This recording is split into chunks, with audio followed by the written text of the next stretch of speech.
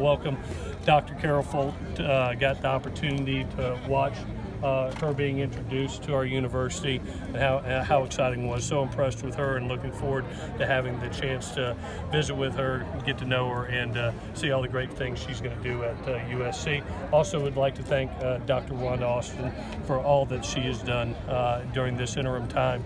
Absolutely brilliant and phenomenal person, and it's just been awesome to watch her um, guide us through some turbulent times. Um, today was an unbelievable day. It was great to have um, a competitive uh, atmosphere. It's really our opportunity to get everybody off the field today and really see some live work and let the guys compete and have fun. I thought it was back-to-back days of very competitive atmosphere uh, and be able to see kind of where we're at. It, it, was neat to see, like I told the guys out there, how fast things go within this offense and how fast you've got to communicate and get lined up for the next play uh, rather than talking or, or all of a sudden celebrating. You, you better get ready for the next play because it's coming in a hurry. But it's a good week of work, six great practices, uh, nine to go. We need these next three weeks um, and looking forward to it. With that, I'll take any questions you got.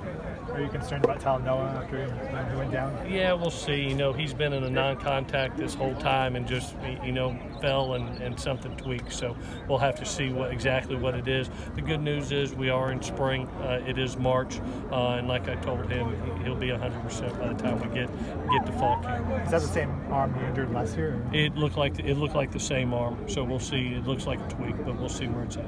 Stephen Carr and uh, Vavae were back today. Yeah, you know they've we've had a string of the flu run through us, and they um, they were out uh, the first two practices early this week, and. Um, uh, got them back today.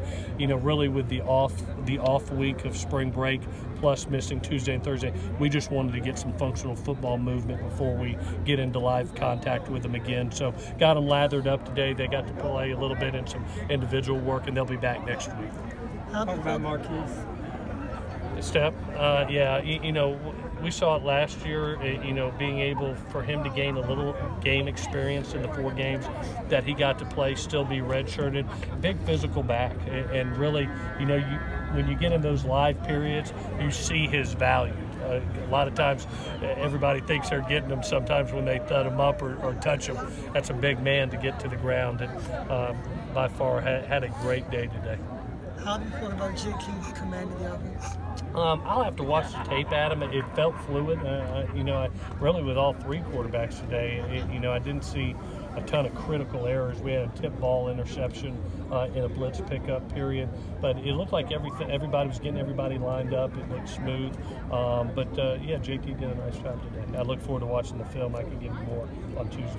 JT said he was looking to be more vocal coming in this year. Um, was that something that was hard for him coming in as a true freshman and graduating a year early? I think he did a good job last year of earning the respect of the guys. You know, it's when you're coming in and you're a rookie um, and having the availability, you got to do it by action first. You know, you got to show up early every day.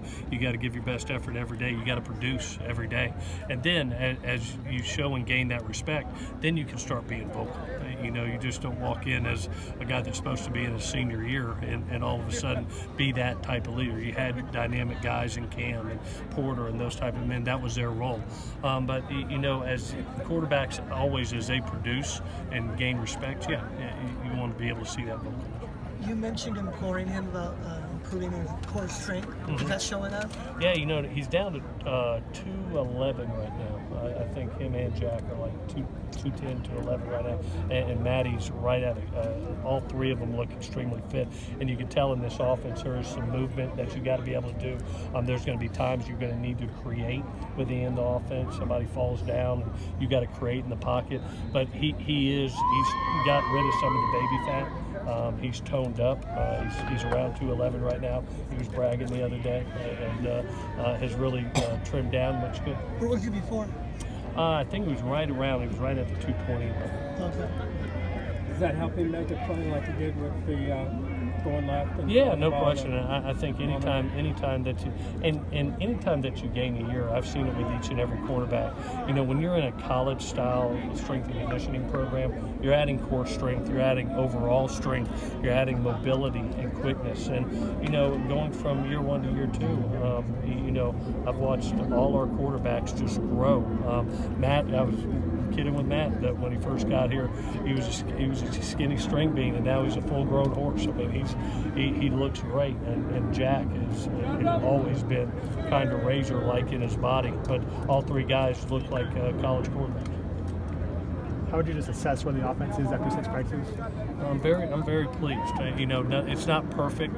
Um, I think today was a reality check for us because uh, I don't think the guys, until you get everybody on the sideline and say, okay, hey, we're playing real live ball. The ball's going to move. We're playing first, second, and third down. Whatever happens, you don't realize how fast it goes and how fast you got to get your eyes back for the next play and how fast you got to get lined up to be able to get the get keep the defense off off base. So um, today was a really good day to kind of test reality. The ball moved very well up and down the field, so I'm pleased. Let's do one more. We'll let Joey take the last question on his last day. Mm-hmm. Pressure. Come on up What's- here, bud. what's- you get right here with me. Come here. Come here. Come here. I will say this: this guy's done an unbelievable job. Unbelievable job, and we'll miss you, Big Horse. You've done a great job. Great job. Go ahead. Last question. Who you miss more, Zach Helfand or me? I'm gonna miss you. uh, no, uh, no. He, Joey's done a great job for us, and, and we've been blessed. You know, that's the one thing that I've I've seen in my time here from Los Angeles is just y'all are pros, pros. You know, and, and whether it's Zach, whether it's Joey, whether it's this crew here, I've been around. I thank all of y'all because you you've always treated me with respect, and I and I try to do the same in return. Treat treat y'all with respect each and every day, and there'll be good days and bad days. And if I do bad stuff, I deserve it. Go ahead and say it. If I do good stuff, I hope you pat me on the back every now and then. But Joey, thank you. Appreciate you, buddy. y'all you. take care. Have a